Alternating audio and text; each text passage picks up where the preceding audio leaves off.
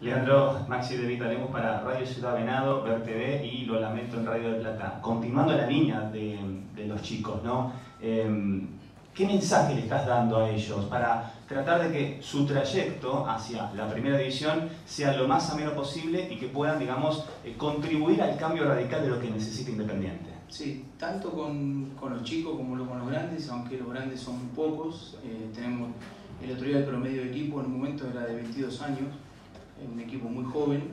Eh, estamos haciendo un trabajo interdisciplinario de manera conjunta en la parte técnica, física, médica, psicológica porque cada institución tiene sus pros y sus contras, Independiente hermosamente muy gigante, entonces no es fácil jugar eh, con la cantidad de público que se juega, con la presión que se juega, con, la, idea de que a los 5 minutos ya estemos ganando 10 a 0 y es difícil.